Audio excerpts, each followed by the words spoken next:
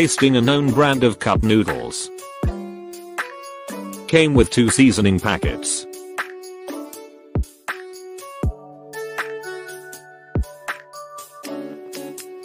Taste test.